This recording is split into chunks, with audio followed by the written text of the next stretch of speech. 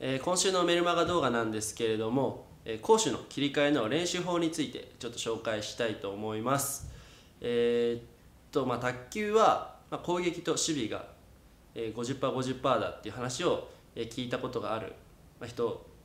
がいると思うんですけれども、えーっとですねまあ、厳密に 50%50% っていうわけじゃないですけれども、まあ、攻撃をしてていきなり守備になる守備をしていきなり攻撃する、まあ、しなきゃいけない場面っていうのは絶対出てくるんで、えーそれに対して、まあ、頭のスイッチを瞬時に切り替える練習ですね。っていうのをやりたいと思います。じゃあずっと攻め攻め攻め攻めで守備。とか、まあ、守備守備守備守備攻めっていうこの頭のスイッチを切り替える練習法ですね。なのでただ単純に攻め守り攻め守りとかじゃなくてその頭のスイッチを切り替える練習っていうのを今回2つ紹介したいと思います、えーぜひ参考にしてください。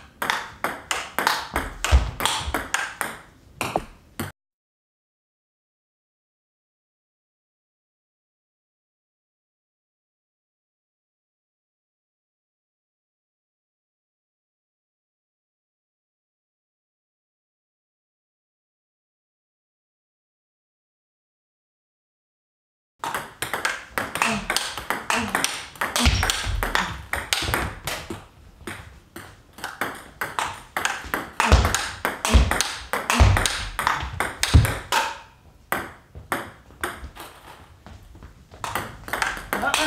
あああ